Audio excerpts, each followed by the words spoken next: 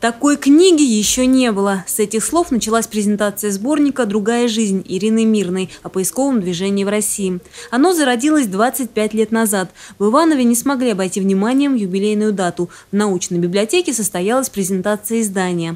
Оно представляет собой сборник из 40 рассказов о поисковиках и солдатах, обнаруженных спустя десятилетия на поле боя. Идея создать книгу появилась после участия авторов поисковой экспедиции. Я получила такое огромное впечатление, такой огромный заряд энергии и поняла, что э, там существует какая-то совершенно другая жизнь. Я приехала тут другим человеком. А это я слышала от многих поисковиков, что э, эта жизнь меняет людей, потому что я поняла, что жизнь после смерти есть, и что наша память, это существует э, связь с нашими э, с погибшими солдатами.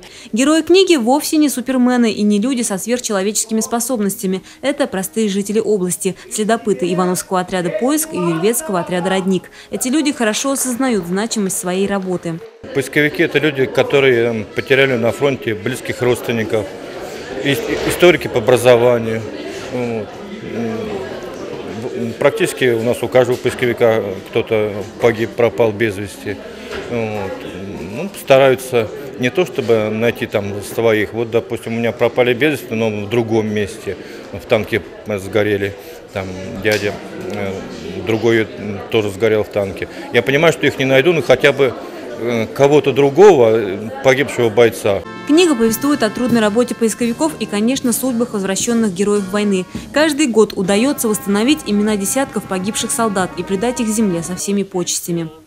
Любовь Почерникова, Денис Денисов, РТВ Иванова. Отца Блаженно проповедуй.